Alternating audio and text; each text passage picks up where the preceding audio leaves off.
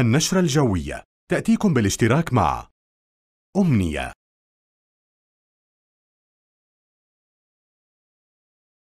المناصير للزيوت والمحروقات.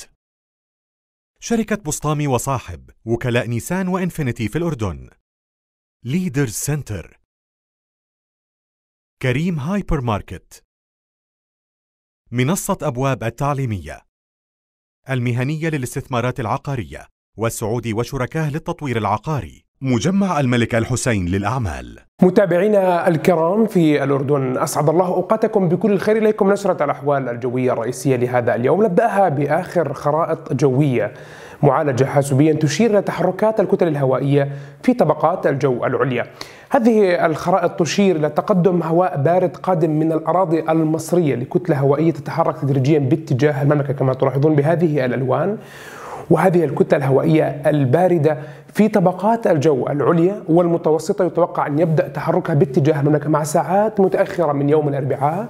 وتستمر بالسيطرة كما تلاحظون على المنطقة الشرقية للبحر الأبيض المتوسط بما فيها شمال السعودية حتى نهار يوم السبت. هذه الكتل الهوائية الباردة في طبقات الجو المتوسطة والعليا أو ما يسمى أحيانا عرفا بالأرصاد الجوية بمنخفض الجوي العلوي. يتصادف ذلك وجودها مع امتداد لما يسمى بمنخفض البحر الأحمر. هذا المنخفض الجوي الذي يمتد إلى المنطقة بشكل موسمي ومن فترة لأخرى ويجلب معه الأجواء المستقرة التي تكون مصحوبة برياح جنوبية شرقية إلا في حال تلاقيها مع المنخفض الجوي العلوي. بمعنى آخر بأن منخفض البحر الأحمر الذي يمتد باتجاه المملكة والمنطقة يجلب أجواء مستقرة وارتفاع على درجات الحارة وهذا ما حصل الثلاثاء ويوم الأربعاء. ولكن في إذا تلاقى هذا المنخفض الجوي للبحر الأحمر مع منخفض جوي علوي ينشأ ما يسمى بحالة من عدم الاستقرار الجوي. سنتحدث عن تفاصيلها بعد قليل. خرائط الضغط الجوي هذه تشير إلى هناك امتداد لمنخفض البحر الأحمر ولكنه يتشكل مركز لهذا المنخفض الجوي قبالة السواحل الفلسطينية. ويصبح نظاما جويا مركبا بحيث تتطور أحوال جوية غير مستقرة قد تكون شديدة في بعض المناطق. نتيجة هذا النظام الجوي الذي يعتبر امتدادا لمنخفض البحر الأحمر بشكل عميق متصادفا مع وجود ذلك المنخفض الجوي العلوي.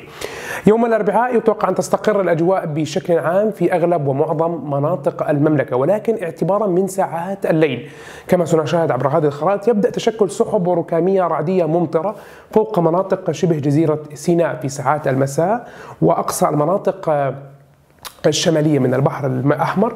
تدريجيا هذه السحب مع ساعات متأخرة من ليلة الأربعاء على الخميس. يبدأ دخول سحب ركامية رعدية ممطرة إلى حدود المملكة. قد تصل أجزاء من العقبة والحدود الجنوبية السعودية الأردنية. تدريجيا مع ساعات ما بعد منتصف الليل وفجر يوم الخميس تصبح مناطق محافظة العقبة والمناطق الجنوبية تحت تأثير سحب ركامية رعدية ممطرة. نعني بسحب ركامية رعدية ممطرة بأنها عبارة عن غيوم تتشكل بشكل عشوائي في مناطق متفرقة تكون مسبقة أحيانا بنشاط كبير في سرعة الرياح وهطول للأمطار الرعدية التي قد تكون غزيرة في بعض النطاقات الجغرافية أحيانا.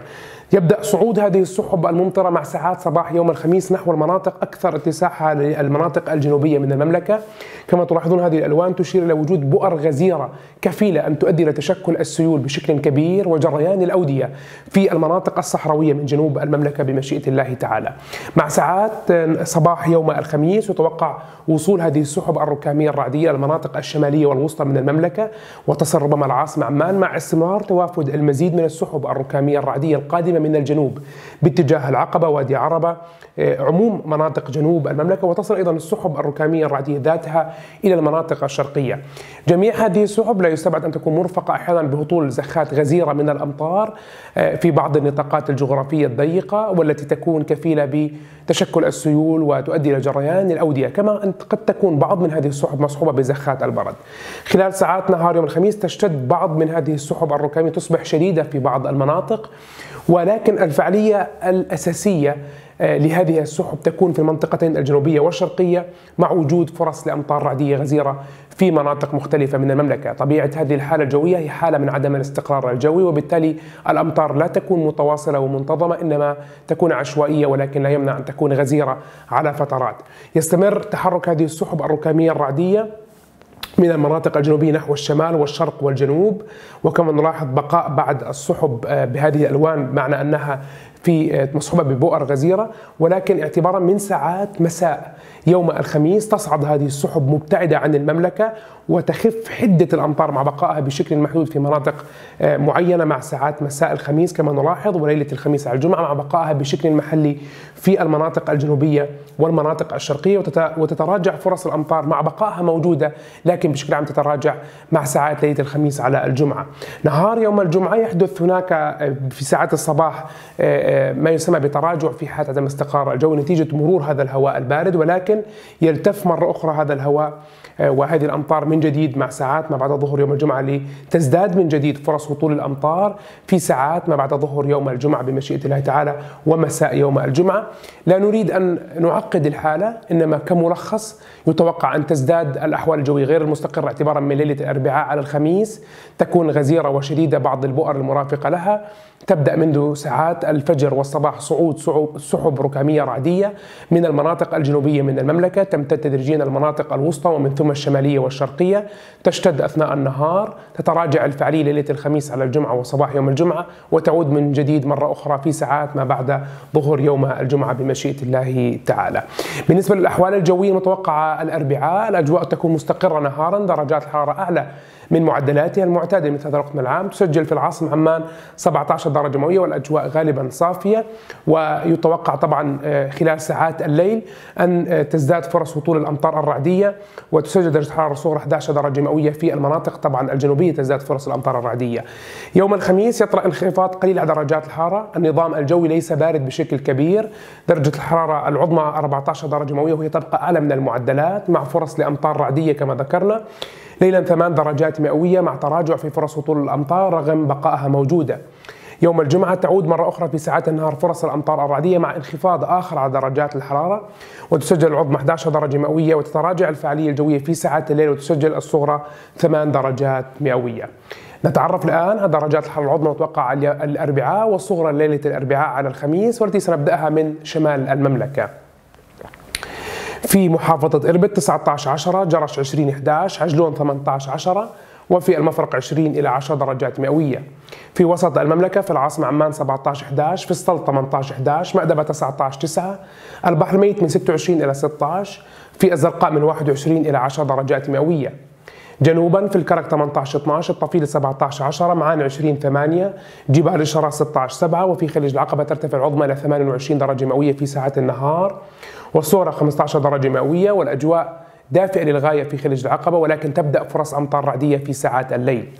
المناطق الشرقية رويشة 22 10 والأجواء دافئة للغاية نهارا 21 إلى 7 في الصفاوي وفي الأزرق من 22 إلى 9 درجات مئوية.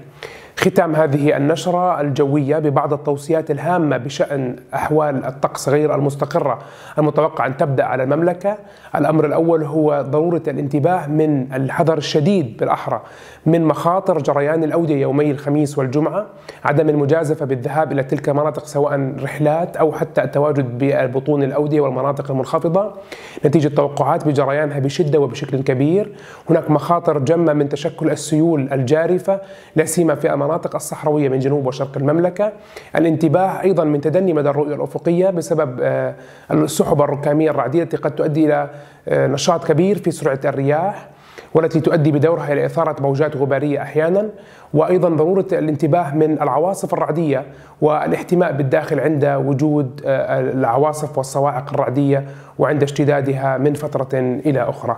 هذا كان كل ما لدينا بشأن الأحوال الجوية في المملكة. للمزيد يمكنكم زيارتنا زيارة موقع طقس عرب دوت كوم ليصلكم كل ما هو جديد بشأن الأحوال الجوية. دمتم دائما بخير إلى اللقاء.